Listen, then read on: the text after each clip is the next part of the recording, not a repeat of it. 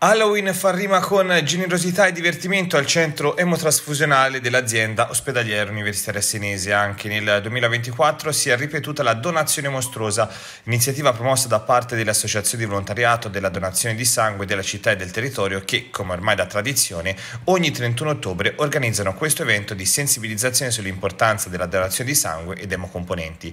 In particolare, per la donazione mostruosa di Halloween, le associazioni hanno regalato un dolcetto a tutte le persone che si sono recate recati a donare il sangue, abbellendo il CET con installazioni artistiche a tema vampiri, pipistrelli e sangue. Il ringraziamento della dottoressa Elena Marchini, direttrice del centro emotrasfusionale. Eh, la collaborazione e l'amicizia cresce sempre di più, quindi siamo tutti molto molto molto felici.